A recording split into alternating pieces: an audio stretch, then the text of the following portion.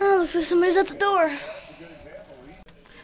Ah, let me in. It's freaking freezing out here. No, I need in. Come on. No, I need in. Come on. Who? I'm gonna kill you. I'm going to rip your and kill you if you don't let me in right now.